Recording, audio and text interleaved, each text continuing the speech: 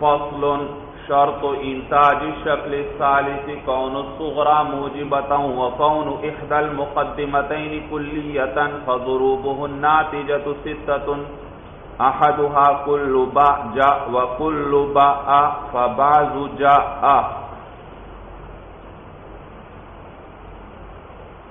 اچھا بھائی گزشتہ سبق میں ہم نے شکل ثالث کے بارے میں پڑھنا شروع کیا تھا۔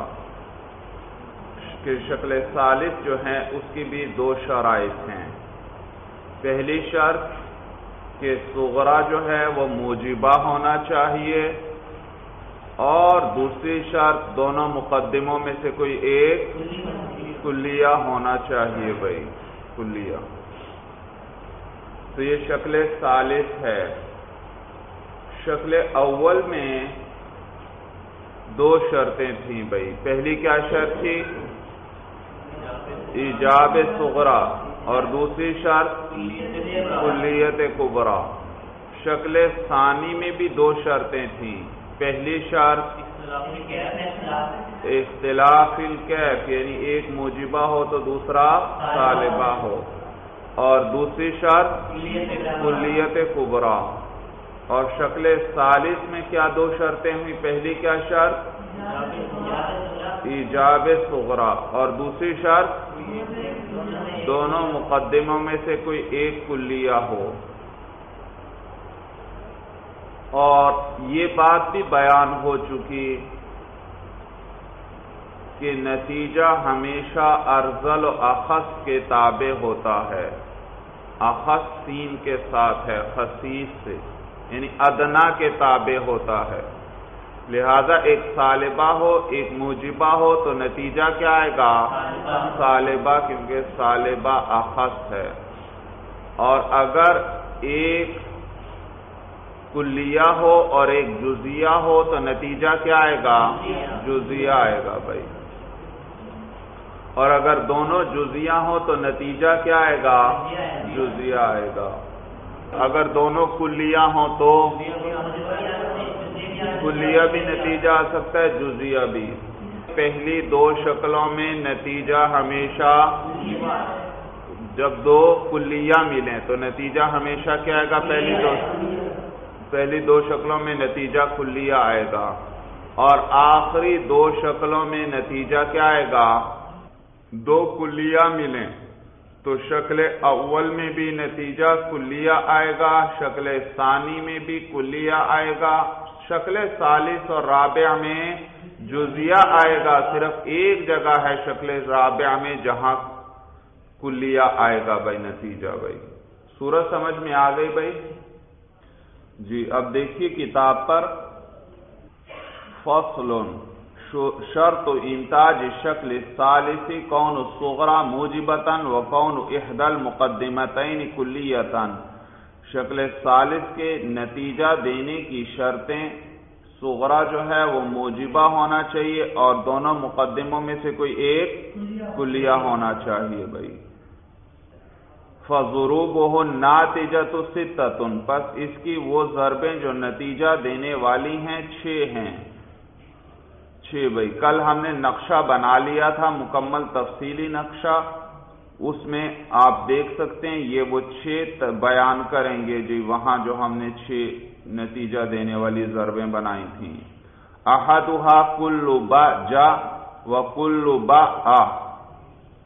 فباز فا کے نتیجہ بتلا دیا فباز جا آ۔ کلو با جا، کوئی بنائیے بھائی یہاں، الفاظ لائیے۔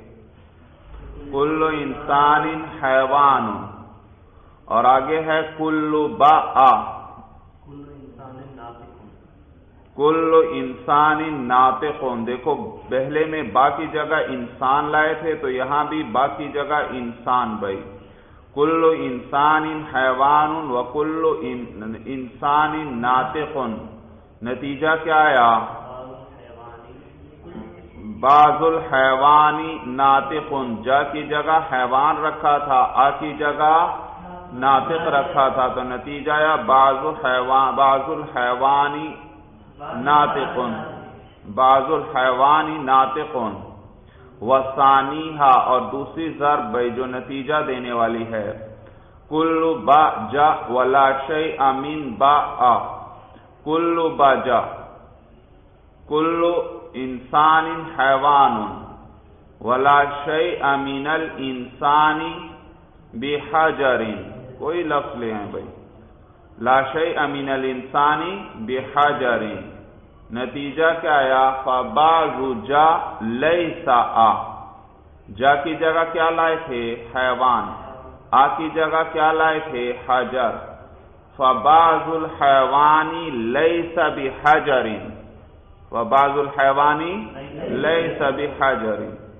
وثالثها اور تیسری ضرب جو ہے ان چھ میں سے باز با جا وکل با آ۔ تو نتیجہ کیا آیا فباز جا، آ۔ جی دیکھیے شکل سالس چل رہی ہے اور یہاں دونوں کا موضوع جو ہے وہ حد اوسط ہے بھائی۔ حد اوسط کس جگہ پر ہے؟ موضوع کی جگہ پر دونوں میں۔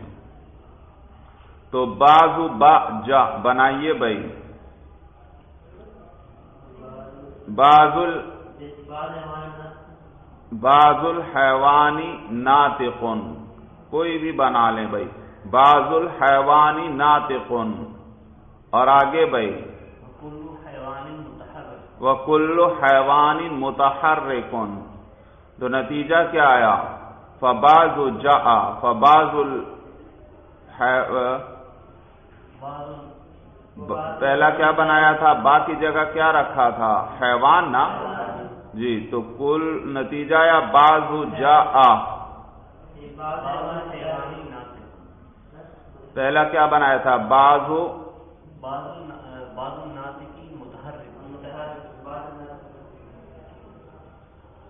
دوبارہ سغرا کبرا بھائی، یاد رکھیں بھائی کیا کیا ہم لگاتے جا رہے ہیں، پھر مجھے بتایا کریں۔ بازو با جا باز الحیوانی ناطقن جا کی جگہ ناطق آیا. وکل با آ وکل حیوان متحرکن آ کی جگہ متحرک آیا. فباز جا آ کیا مانا؟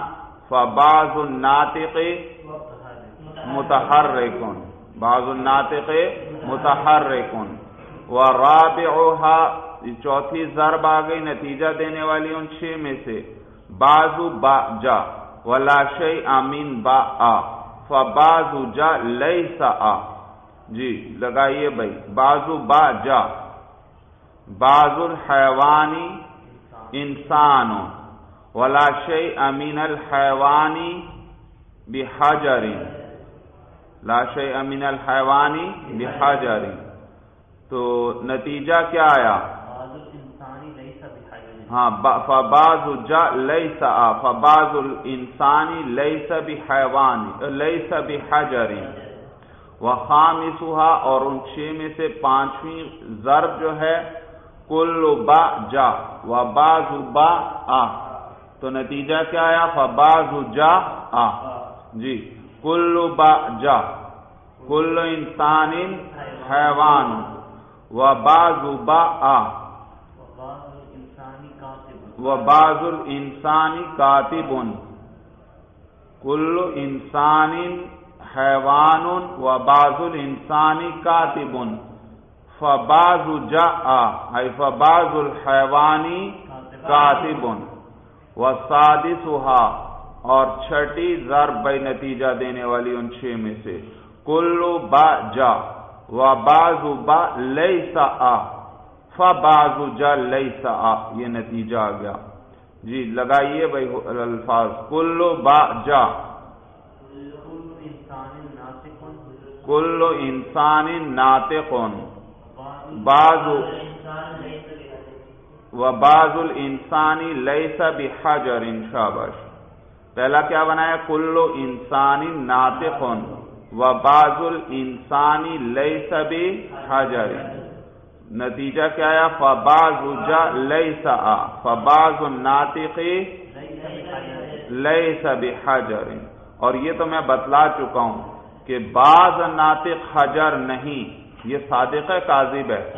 صادق. اس سے یہ نہ سمجھیں کہ باقی کیا ہیں؟ بعض ناطق حجر نہیں ہے تو یہ نہ سمجھے کہ بعض ناطق حجر ہیں۔ باقیوں کو ہم نے ذکر ہی نہیں کیا بھائی۔ ہم نے کب کہا کہ باقی ہیں بھائی؟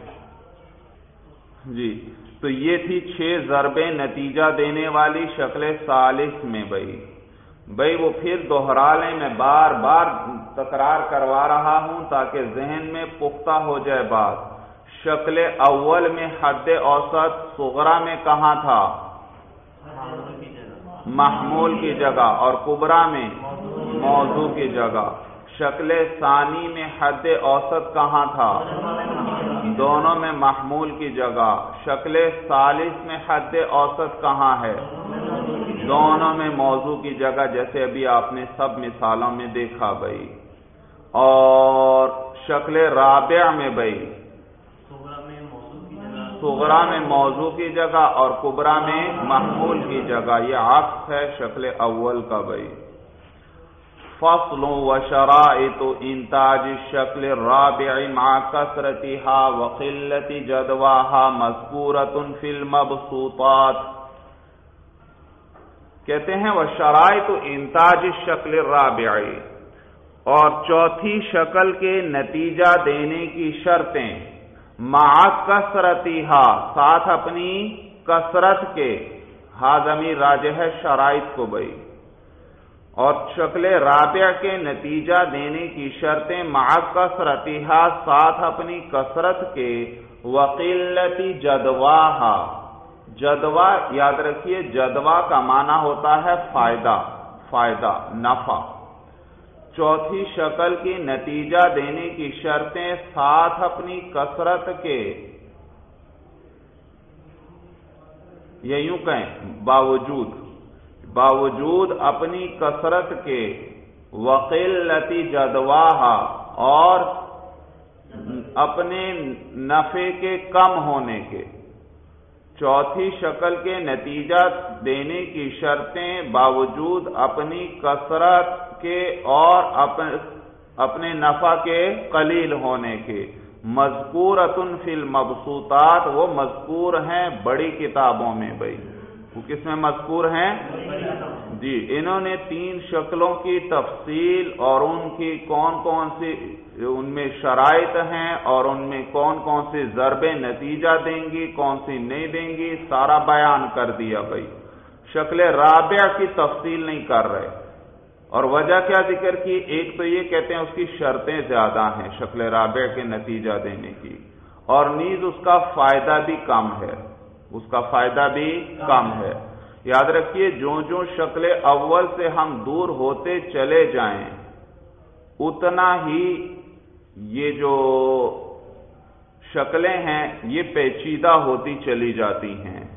ان میں نتیجے میں بہت غور کرنا پڑتا ہے۔ آپ نے تو سادی سادی مثالیں کر لی سیدھی سیدھی طریقہ سیکھ لیا۔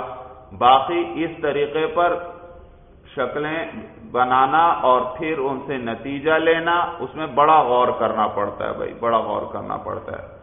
تو اس لیے اس شکل رابع کی شرائط کو وہ ذکر ہی نہیں کر رہے، کہہ رہے شرائط کثیر ہیں اور ان کا فائدہ قلیل ہے۔ اس تو اور وہ بڑی کتابوں میں مذکور ہیں۔ تو جب وہ بڑی کتابوں میں ان کا، ان کی شرائط زیادہ ہیں اور فائدہ تھوڑا ہے اور بڑی کتابوں میں مذکور ہیں فلا علینا لوتوری کا ذکر ہوا ائی فلا بس علینا، ہم پر کوئی حرج نہیں ہے۔ یا فلا حرج علینا، ہم پر کوئی حرج نہیں ہے۔ لوتوری کا ذکر ہوا اگر ان کے ذکر کو چھوڑ دیا جائے۔ شکل رابع کی شرائط اب زیادہ ہیں، ان کا فائدہ تھوڑا ہے۔ بڑی کتابوں میں مذکور ہیں، تو لہذا ہم پر کوئی حرج نہیں۔ اگر ہم ان کو کیا کر دیں؟ چھوڑ دیں بھائی۔ وقدا شرائط سائر اشکالی اور اسی طرح تمام شکلوں کی شرطیں ہیں بھائی۔ بحسب الجہتی جہت کے اعتبار سے۔ آپ نے تو سیدھے بغیر جہت کی ساری شکلیں حل کر لی انہی میں وہ جہت لے آؤ بھائی موجہات میں جو جہت آپ نے پڑھی تھی۔ ضرورت کے اعتبار سے۔ کبھی دوام کے اعتبار سے، کبھی امکان کے اعتبار سے، کبھی بالفیل کے اعتبار سے۔ وہ بھی شرطیں ساتھ ذکر ہوتی ہیں، اس کے ساتھ بھی کیسے شرائط ہوں گی، ان میں کیا کیا شرائط ہیں اور ان کی کیا کیا صورتیں بنیں گی، اس کو بھی کہتے ہیں ہم یہاں نئی ذکر کریں گے، کیونکہ کہتے ہیں یہ میرا رسالہ چھوٹا سا ہے، چھوٹی سی کتاب ہے، رسالہ ہے، یہ اس ان کا متحمل نہیں ہو سکتا، اتنی تفصیلات اس میں بیان نہیں ہو سکتی، اگر بیان کی جائے گی، اگر ان چیزوں کو بیان ہم کریں گے، تو یہ مبتدی طلباء کا رسالہ ہے، ان کے پڑھنے کے لیے یہ لکھ رہے ہیں۔ تو پھر ان کے لیے سمجھنا بہت مشکل ہو جائے گا بھائی۔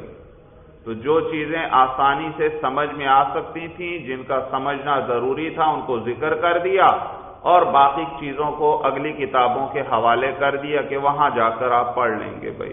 سورج سمجھ میں آ گئی۔ تو کہتے ہیں، وقدا شرائط السائر الاشکال بحسب الجہتی اور اسی طرح ساری شکلوں کی شرائط جو ہیں جہت کے اعتبار سے لا يتحمل امثال رسالتی حاضی اس کا تحمل نہیں کر سکتا۔ امثال رسالتی رسالتی حاضی میرے اس رسالے جیسے کہ مثل رسالے جو ہیں۔ میرے اس رسالے جیسے رسالے جو ہیں یعنی اس جیسے چھوٹے رسالے جو ہیں، وہ ان کا تحمل نہیں کر سکتے۔ ان میں ان کو بیان نہیں کیا جا سکتا بھائی۔ ہاں لی بیان کا تعلق بھی اسی جملے سے ہے۔